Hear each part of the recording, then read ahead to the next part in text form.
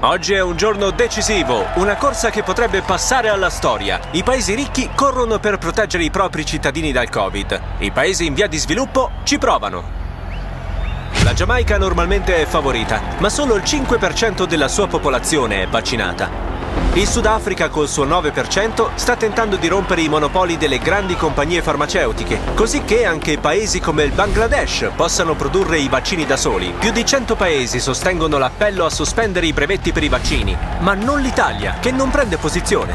Così come la Gran Bretagna, che ha milioni di dosi in più di quanto necessario.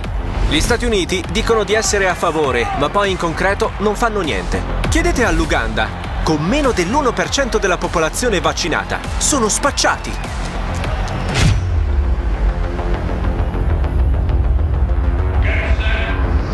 E sono partiti! I paesi ricchi in testa.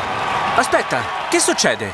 I paesi in via di sviluppo abbandonano la corsa, così non possono proprio competere.